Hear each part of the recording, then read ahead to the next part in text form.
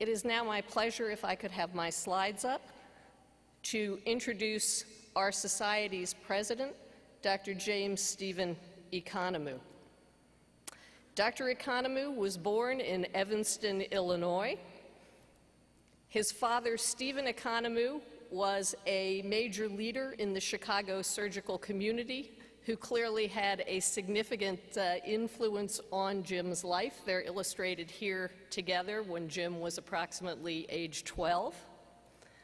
So after spending his teenage years in the suburban Chicago uh, area, Jim set off to uh, Johns Hopkins, where he received his undergraduate degree in biology, and then remained at Johns Hopkins for his MD and PhD, which were awarded in 1980 as part of the accelerated MD PhD program there. His dissertation was entitled Physical, Chemical, and Biologic Properties of Lymphocyte Activating Factor.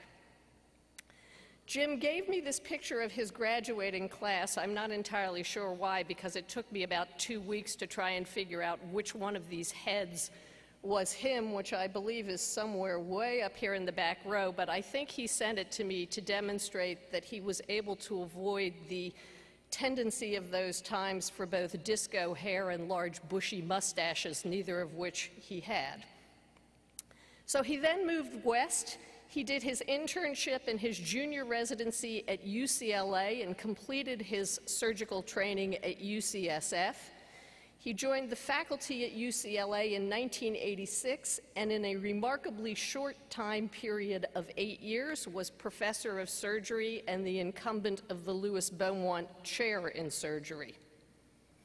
His academic accomplishments are numerous. He is the author of 116 peer-reviewed publications. He is the deputy editor of the Journal of the American College of Surgeons, and he's on numerous editorial boards, some of which, such as cancer gene therapy, are not normally inhabited by surgical editorialists. He has chaired the Experimental Therapeutics Study Section 2 of the NIH and also chaired the Cancer Manpower and Training Subcommittee at the NIH. He received his first NCI grant in 1988. He has had continuous funding since that time, including multiple R01s, a program project grant, and T32 training grants in surgical oncology, tumor immunology, and gene medicine. I suspect if you were to ask Jim which of the accomplishments on this slide he was most proud of, he would tell you it's the 25 research fellows that he have trained, many of whom are now leaders in our society and hold prominent academic positions. Now, I must confess that as part of this talk, I was trying to dig up a little dirt on Jim, so I contacted some of his former research fellows who said, well, you know, he really plays things pretty close to the vest. We don't have a lot of dirt we can share with you, which must mean they're still afraid of him all these years later. But what they did tell me was that they joined his laboratory because his ideas were better, more innovative and interesting than any other laboratory they could find, I think, a true tribute to his academic career.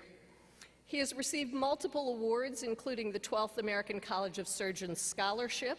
From 1989 to 92, he was the Dorothy and Leonard Strauss Scholar of the UCLA School of Medicine, named by the Dean. And in 2006, he received the James Ewing Medal of our society.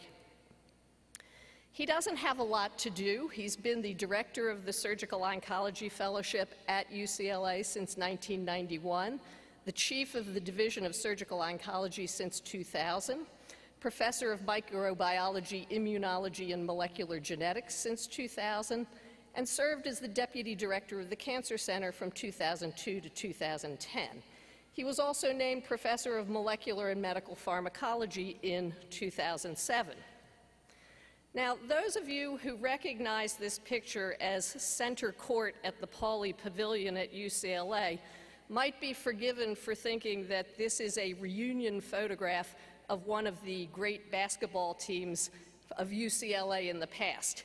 However, I will point out to you that there are way too many short white guys in this picture for that to be what it is. And in fact, it is a picture of the chancellor and his vice chancellors. And in 2010, Jim was named vice chancellor for research in the UCLA system, true recognition of his contributions there. So while there can be no doubt that Jim is academically accomplished, as the presidents of this society generally are, I think we'd all like to know what is he really like? Now, as the president-elect of the society, you have to spend a lot of time interacting with the president, and I never really knew Jim very well until the past year or two. And you can see that there are some people who start out in life exactly what they end up with as adults. And if you look at little Jim here compared to current Jim, and look at the expression on his face, I think you'll understand that. Now, many times when I was talking away to Jim, I had no idea what he was thinking. What I hoped he was thinking was this, but unfortunately, what I suspect he was thinking was what's illustrated here. Jim is a devoted family man. He's shown here with his wife Denise, who is an oncology nurse who does research in survivorship and palliative care, and their three sons. The fact that this is an older picture is perhaps best described by the fact that uh, their oldest son, uh, Stephen, is now in law school. Their younger two sons are now in college. But I will point out in this picture, you see something that is characteristic of all the Economou family pictures that I've looked at, namely, Denise looks really happy, Jim looks slightly bemused, and the sons, depending on their age, if they're little, look happy to be with mom and dad, and if they're older, they're starting to look cool. So one of Jim's main activities has been with the Scouts. He has been active across the spectrum of scouting from the Cub Scouts through to the Boy Scouts. Here he is shown probably at a younger age because he has this enormous pack on his back. He's clearly walking up a hill, and he's nonetheless smiling. Fast forward a few years, and we now see him on the top of the hill with his youngest son, George, who's clearly having a great time. I'm not sure that Jim looks like he's quite so sure about that, but he did make it to the top of the hill. Here is the family more recently on a ski trip, and again, you can see that Denise is smiling. The boys aren't so sure. I think they were getting ready to push Jim down the hill at this particular point in time. Now, I think when Jim became the president of the uh, SSO, he initially found it relatively stressful. This is a picture of him on the morning after his first executive council meeting.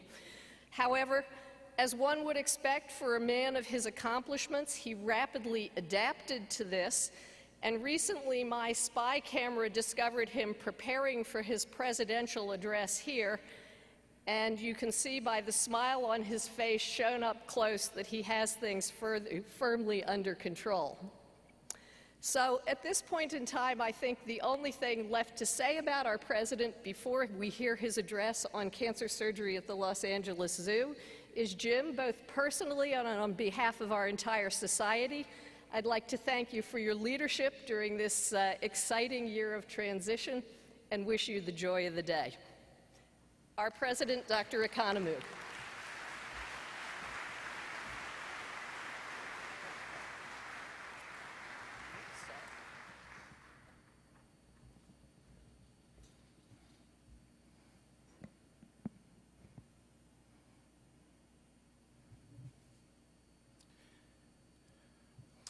So I want to begin my presidential address by thanking two remarkable surgical leaders, uh, Monica Morrow, who will succeed me as president, and Mitch Posner, who was my immediate predecessor. Many of you already know what I learned over the last year.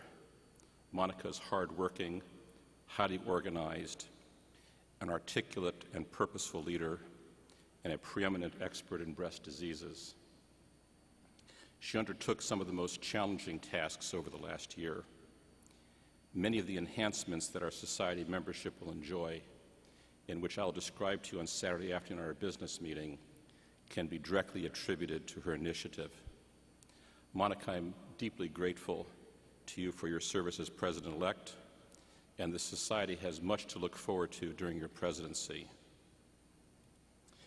Monica, I will be sending to you this book from my father's library. It is an 1845 edition of Sir Astley Cooper's Anatomy and Diseases of the Breast. I did not know Mitch Posner at all before I became vice president. As I indicated to you last year when I introduced him to you as president, Mitch is the real deal. He is hardworking, a superior clinical surgeon and investigator, a great leader, and a fundamentally decent person. But many of you right now who know Mitch as well as I do, and I see some of you whispering to each other, you're asking yourselves, what sort of book am I going to give to Mitch?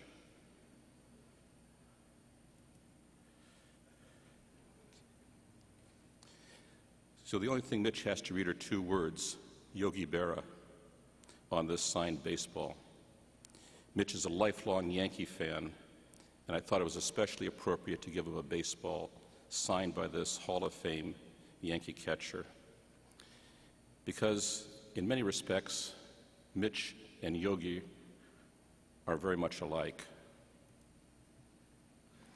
You can fill a small book with some of Yogi Berra's sayings my favorite is this When you come to a fork in the road, take it, which I think was very reminiscent of the title of Mitch's presidential address last year.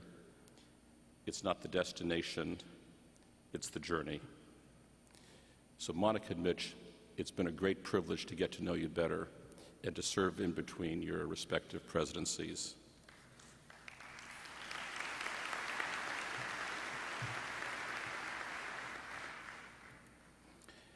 Would like to express to the membership of our Society of Surgical Oncology how deeply honored I've been to serve as your 65th president.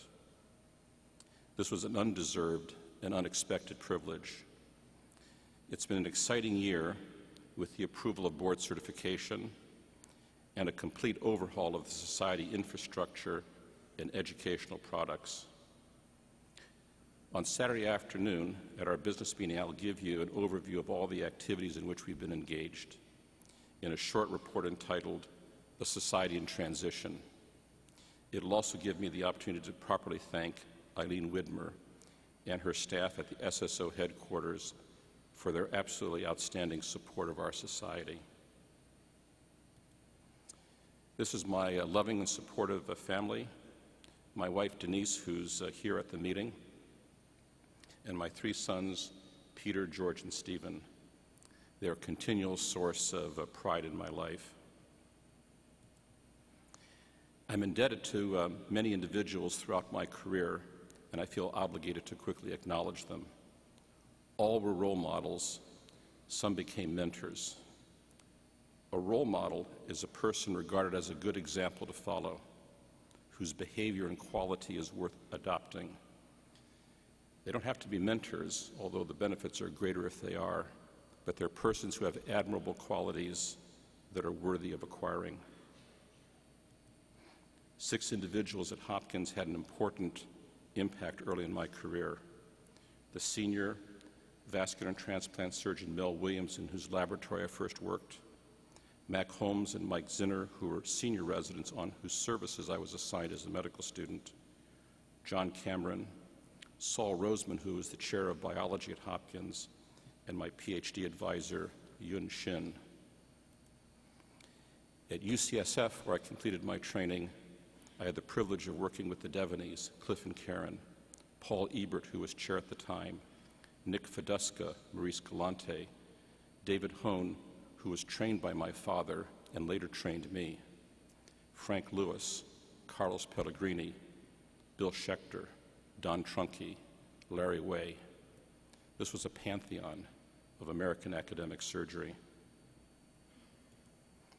At UCLA, Dr. Longmire, again Mike Zinner and Mac Holmes, now two outstanding chairs of our department. Two basic science colleagues, Judy Gass and Owen Witte, from whom I've learned a great deal. And especially my senior colleague in surgical oncology, Fred Eilber, one of the most admired and respected members of the UCLA faculty. There are four leaders in our society who continually played influential roles in my career Tim Eberlein, Raph Pollock, also trained by my father, Charles Balch, and Bill Cance. For some reason, these four individuals who have become good friends always seem to be working in the background to support my career. It never hurts if a preeminent role model and mentor is a parent. My father was a past member of the society, a surgical educator and scientist, and a surgeon surgeon. These are my parents, Stephen and Catherine Economou, their three children, and 12 successful grandchildren. In 2006, I had the privilege of receiving the James Ewing Medal from this society and delivering this lecture, during which I spent 45 minutes speaking about molecular immunology and signaling pathways. I decided for my presidential address that I would not torture you a second time. I also read past presidential addresses, all of them thoughtful and visionary expositions, and I frankly felt there was not much more I could add. Instead, I want to describe to you some rewarding experiences I've had as one of the founding members of the Los Angeles Zoo Medical Advisory Board. Throughout my career, I've conducted animal research with the goal of developing new therapies that would change the care of patients. These have all been complex cell and gene based therapies. But I've had the opportunity over the last 15 years to work with a group of outstanding zoo veterinarians and animal curators using knowledge of human disease biology and the implementation of modern technology to help animals. I've listed some of my zoo colleagues here. So this morning, I'm going to show you three video clips of large animal operations in which uh, we participated. The first operation was on Caesar, a male silverback lowlands gorilla who had a recurrent pleomorphic adenoma of the parotid gland. Minyak, a purebred Borneo orangutan with recurrent infected laryngeal air sac. Not exactly a cancer, uh, but an interesting and life saving operation. And finally, and most recently, an operation performed on Randa, a single horned Indian white rhinoceros with recurrent multifocal squamous cancer of the horn. In the late 1990s, I received a phone call from one of the veterinarians at the LA Zoo about one of their gorillas named Caesar. This is a picture of Caesar taken in 1977. He was the first gorilla delivered by cesarean section, thus his name.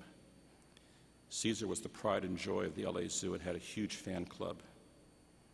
He had developed a mass in his left parotid, which had been excisionally biopsied in the past, found to be a pleomorphic adenoma. Now the tumor had recurred, and they asked us uh, for help.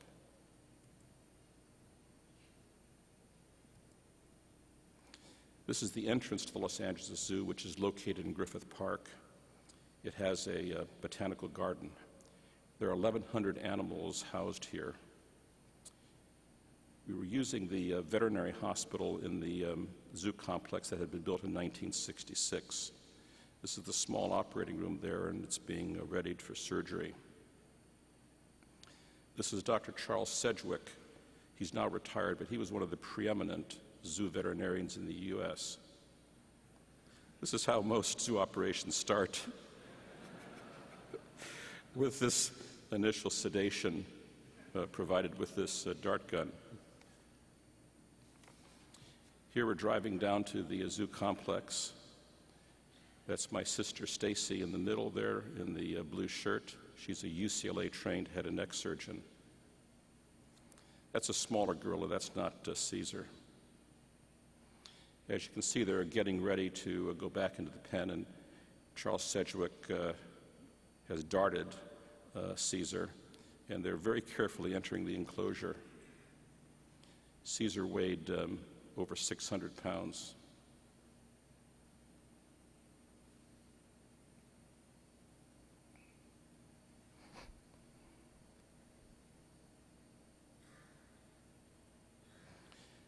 The woman in the back with the um, uh, blonde hair is Dr. Cynthia Stringfield, who, along with uh, Dr. Sedgwick, were the uh, senior veterinarians. There you see her uh, carrying Caesar to the uh, gurney.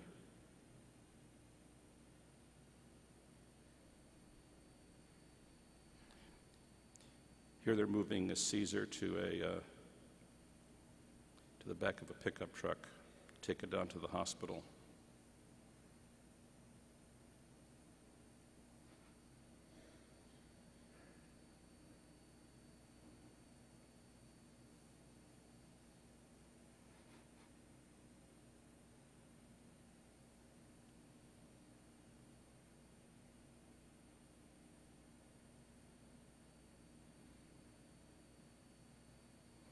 After a short truck ride, we arrived at the hospital. They're moving him onto the gurney.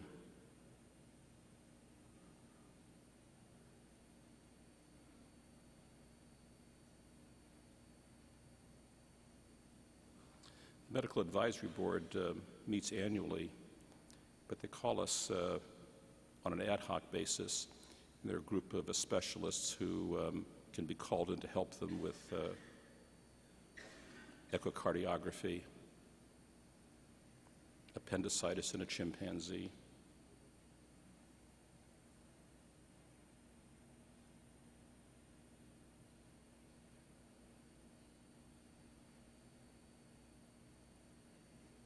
Here we're doing the preoperative examination with my sister Stacy. I had to bring her along because she actually uh, knows how to do this operation.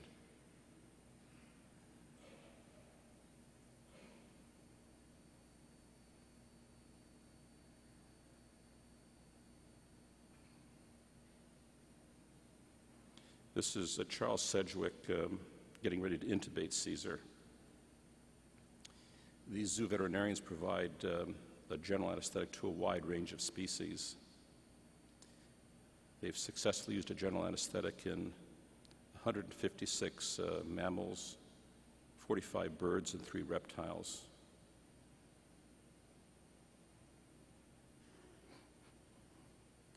Here we're moving into the operating room. It's kind of a small room. Had to kind of figure out how to uh, how to position the table.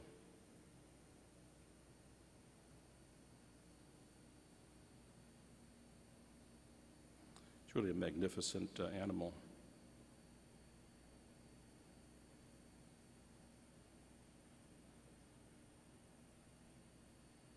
Caesar's a western lowlands gorilla. They're found in the Cameroon and Congo.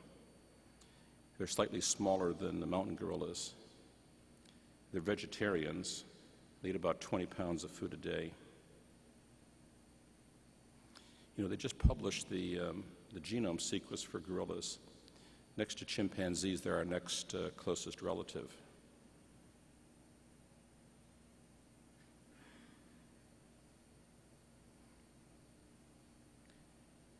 You can appreciate the um,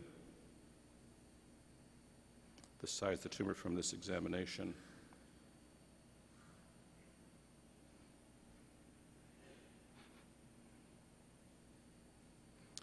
Believe it or not, uh, we found a gorilla anatomy book published in 1950 in the UCLA Medical Library.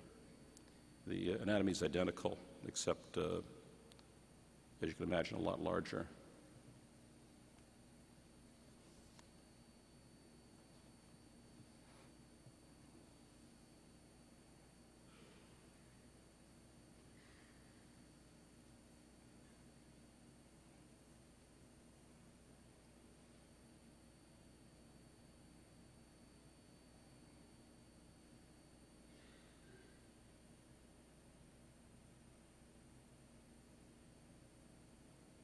I never operated with my father, so operating with my sister, I think, was the next best thing. Here she's letting me bovie uh, in between her clamp.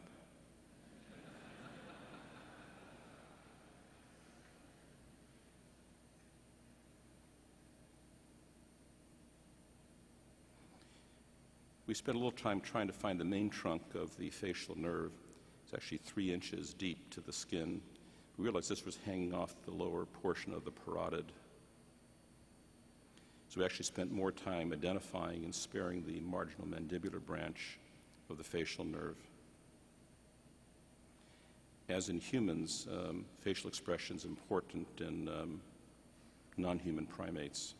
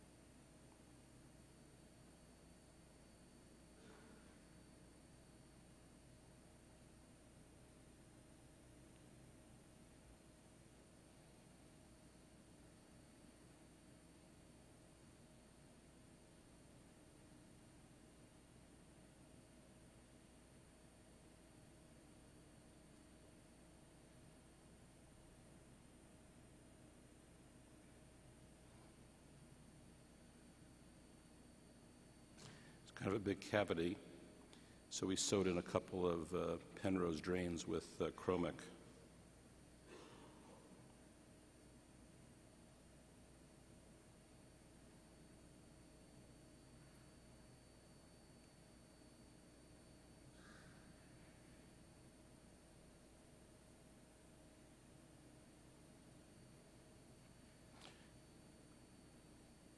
I'm not sure what I was thinking uh, putting this dressing on a 600 pound gorilla.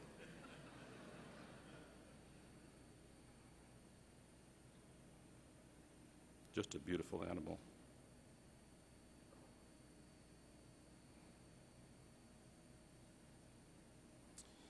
Here we're taking um,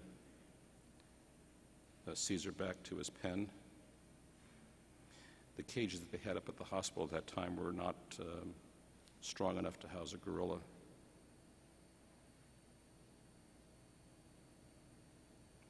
He woke up a few hours later. He took off the dressing. He pulled off the drains and ate them. and he chugged down two liters of Gatorade, and he was fine.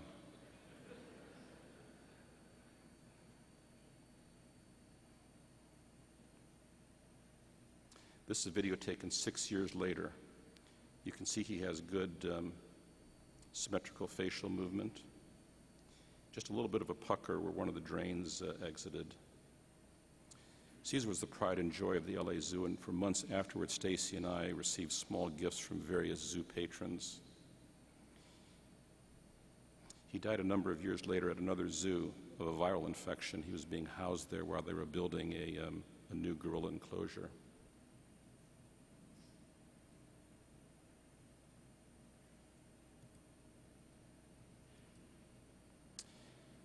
In 2003, we were asked to help with Minyak, an orangutan who was slowly dying from an infected laryngeal air sac that was refractory to drainage and antibiotics. By then, the zoo had built a brand new modern hospital. This hospital is 33,000 square feet with an intensive care unit, an operating room, research laboratories, as well as offices for the zoo veterinarians and staff. They provide over 800 medical interventions to the zoo animals every year. The smallest animal they've treated is a poison arrow frog weighing 0.2 grams. The largest was Billy the elephant, who weighs 13,000 pounds.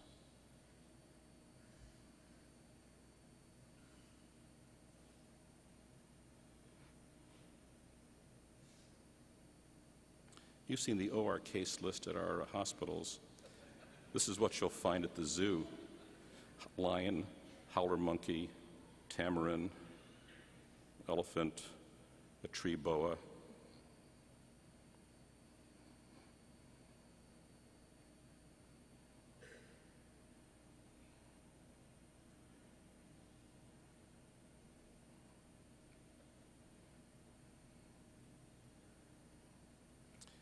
That's Leah Greer, one of the veterinarians, and you can guess it. This is the start of the operation. She's anesthetizing a Minyak. There he is in the corner after the pre-op sedation.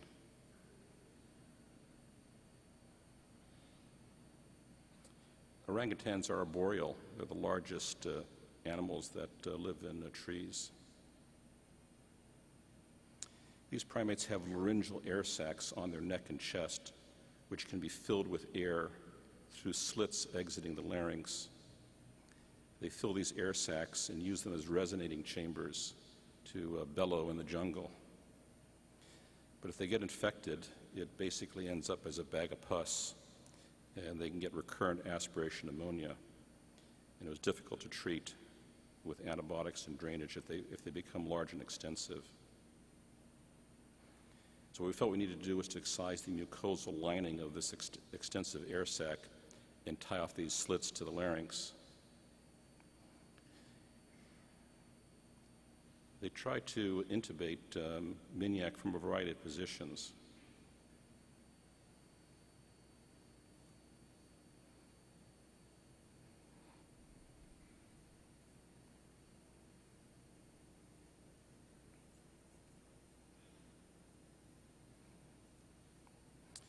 But there she is. My sister Stacy, that head and neck surgeon, sister of mine, intubating this uh, orangutan with the help of Leah Greer the old fashioned way.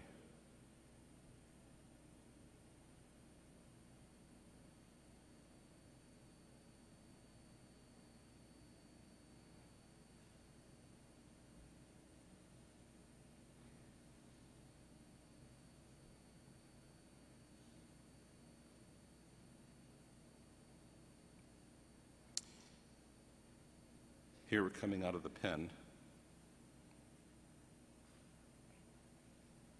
The fellow in the green scrubs there is Wayne Hofstetter. Wayne's a thoracic surgeon. He was then on our faculty. He's now at, uh, he's now at Anderson. We knew this was going to be a long operation, so we asked if he could uh, join the team.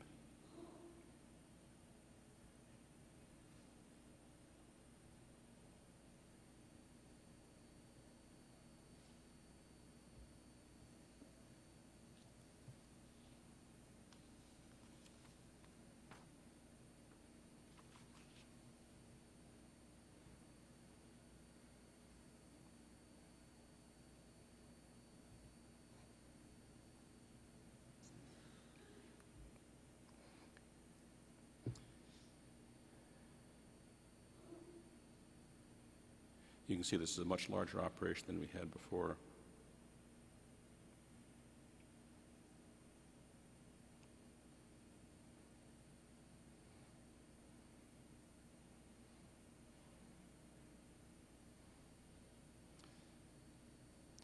This had been uh, drained previously, so we just opened up the fistula. You get a, an initial appreciation of the size of this uh, laryngeal air sac.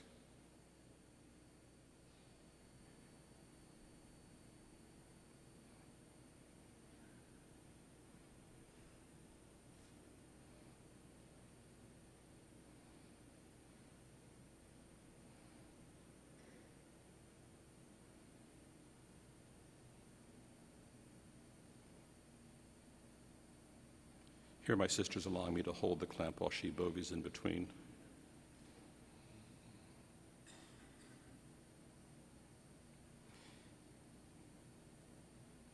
This was an extensive air sac in this older animal, extending over the, pector- over the pectorals into both axillae.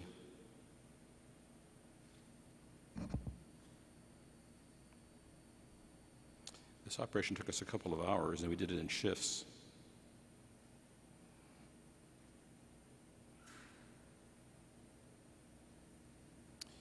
Minyak was the only pure Borneo orangutan in the zoo. They had Sumatran orangutans, but they wanted him to breed with females, but he was too sick.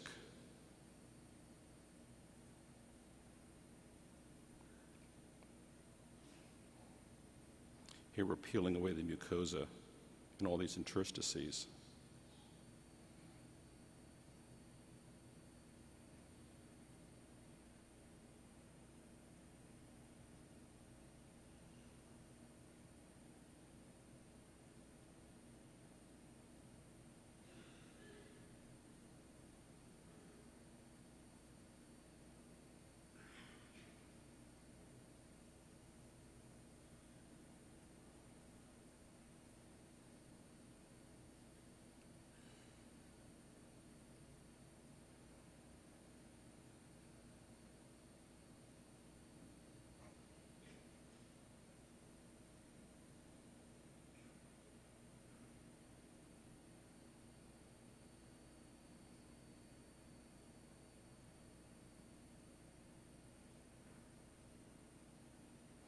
So here are the two communications with the larynx, which have been divided and ligated.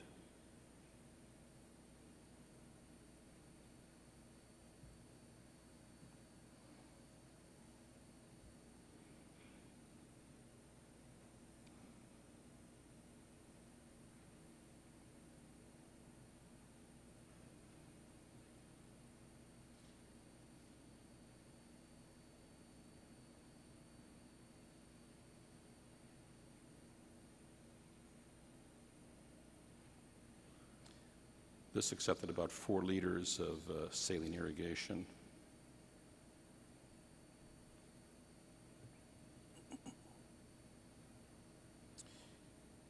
We used a lot of chromic to tack down the cavity. We left a small communication for it to drain, but we didn't put Penrose drains in this time.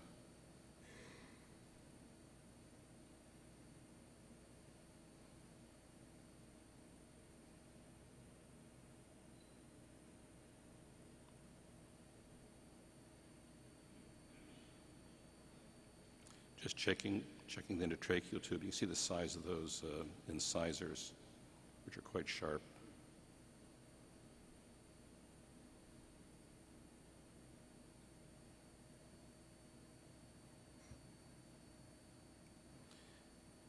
We're moving back to the pen, which also serves as a recovery room.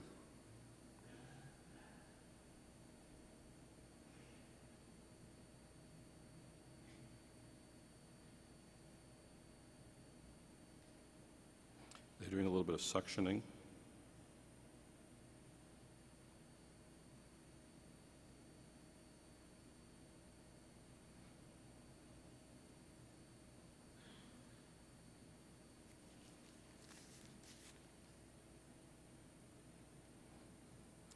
But um, extubating an orangutan requires careful timing.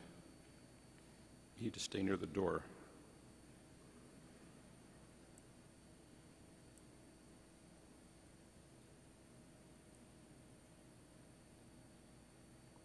Just when he's awake, they slipped out the tube.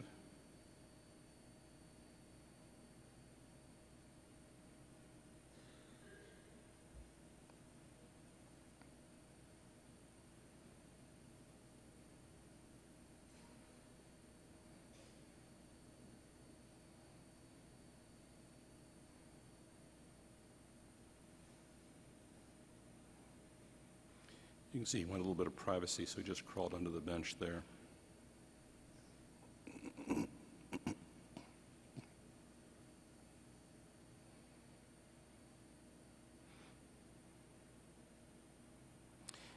Came back the next day for a post-op visit.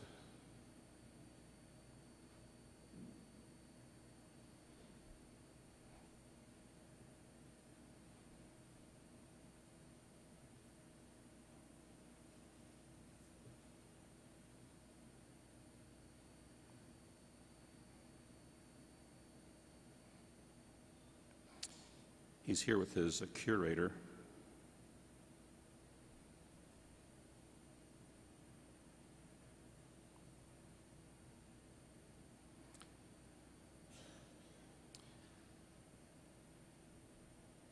She's giving him some nebulizer treatments, a little water from a squirt bottle, and some grapes.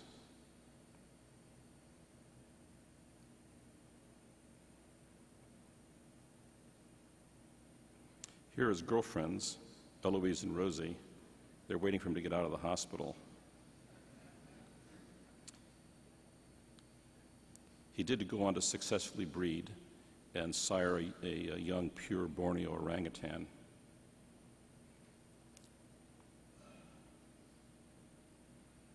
A couple weeks ago, we went back to visit Minyak. As usual, he was up there in his hammock uh, taking a nap.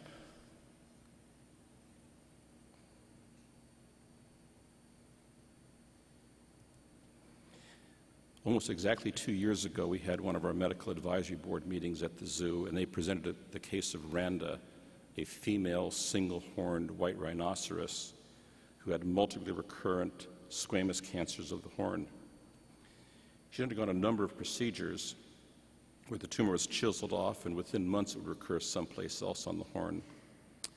This was just after the SSO meeting we had in Phoenix, where we had some papers on intraoperative radiation therapy.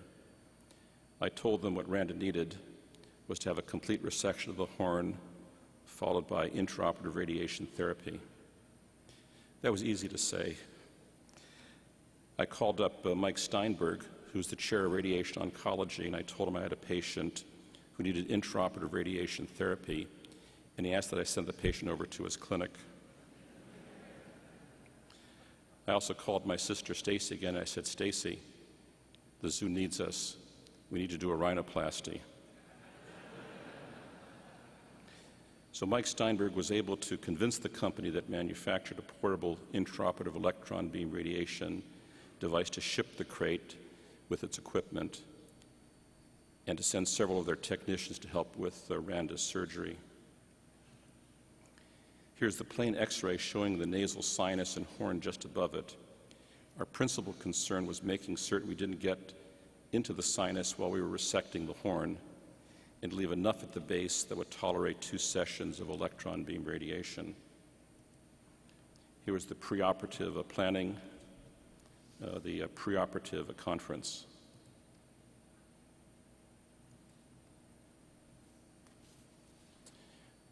Randa weighs 6,000 pounds, and after she was sedated, it's important that she was positioned with sufficient padding so that she wouldn't be lying on her uh, extremities and injuring motor nerves. Thus, the, the need for a, um, a forklift.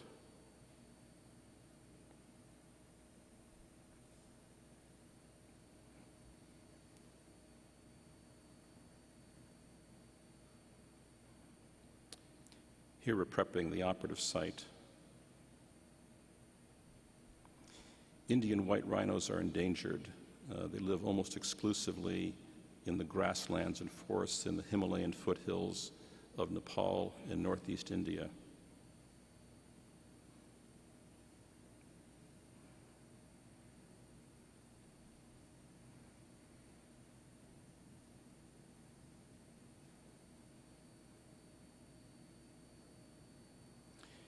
Here, the goal of the first operation was to take off the bulk of the horn and give the first treatment of radiation.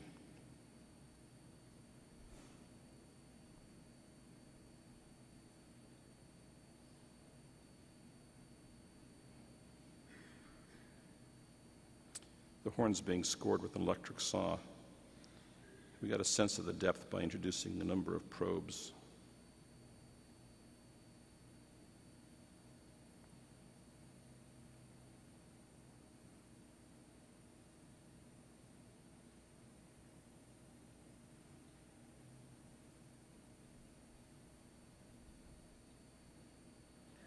Here you can see a better view of the um, horn with that cauliflower um, squamous cancer.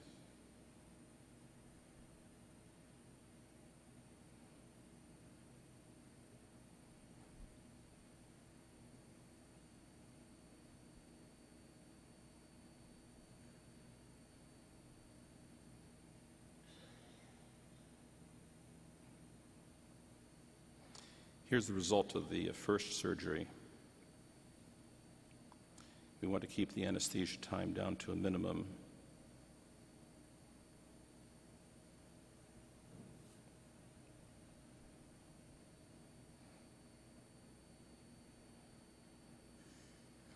There's Mike Steinberg in the light blue uh, shirt.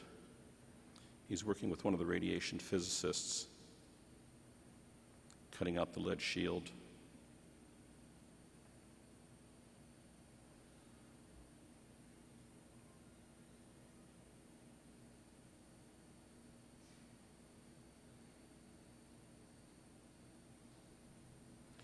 Here it's being um, applied to the horn. They delivered 17 gray to surface.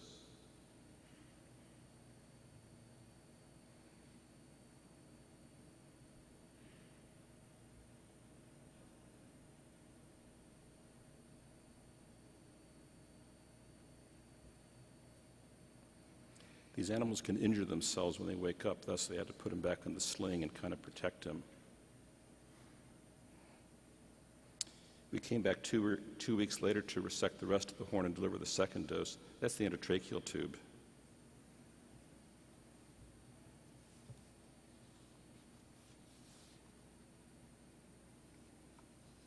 You'll get a little better view of the intubation um, for the second procedure. You see that two by six? That's, the, that's their laryngoscope. And that's Leah Greer, who's going to do this intubation.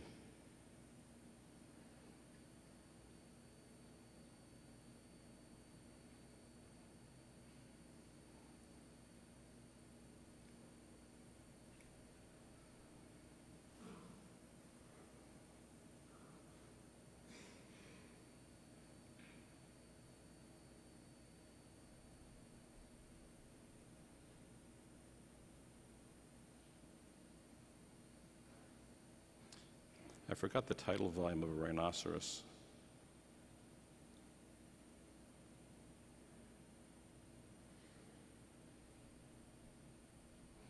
We obviously didn't have the luxury of, of bringing this animal up to the um, hospital, so we had to do it in the um, in the yard just outside the pen.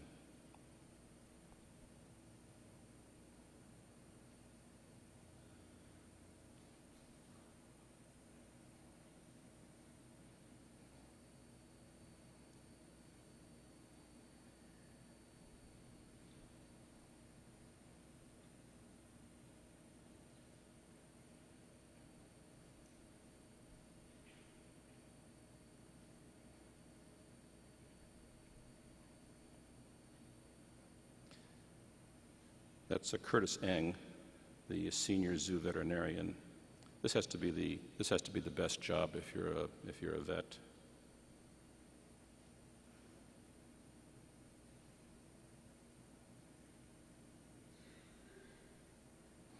I didn't want to use the electric saw, so I went to Home Depot and I bought a couple of saws.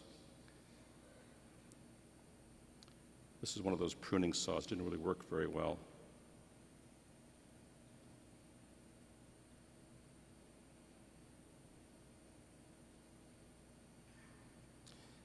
I also had a fine-toothed, flexible carpentry saw, which worked very well.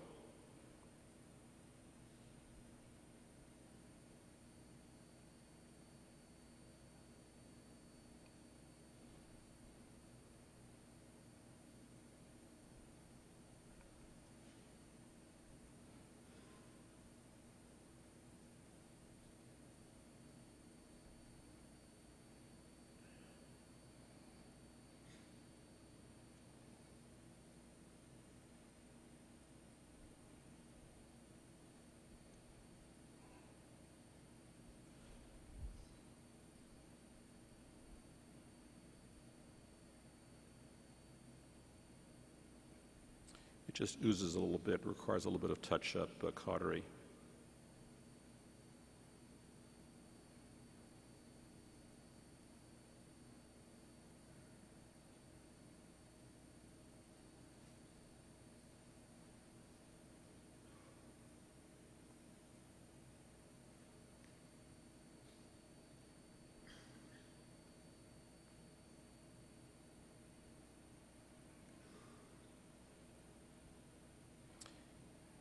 She's getting set up for her second dose of radiation.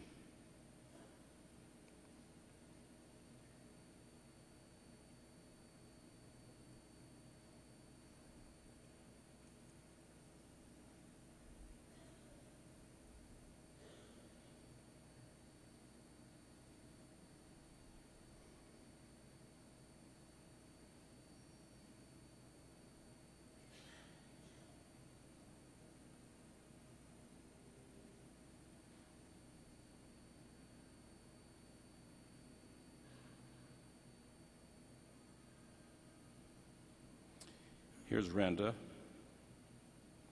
She's the sweetest 6,000 pound Labrador retriever. Her favorite food are cantaloupe. You can see it's beginning to granulate.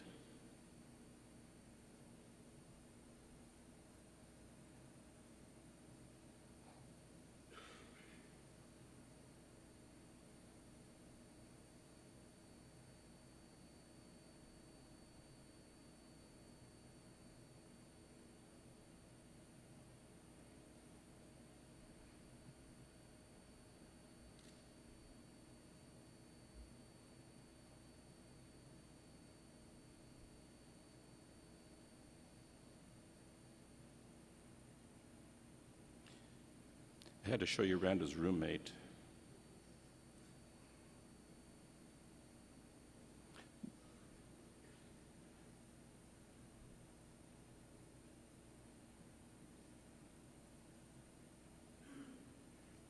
His name is Jabba.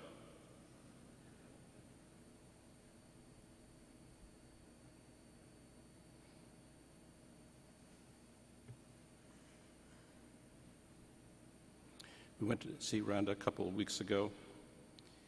She's almost two years out. She's doing very well. This tumor had recurred several times on her horn. And we're very pleased with the outcome. I've been a faculty member at UCLA for 26 years.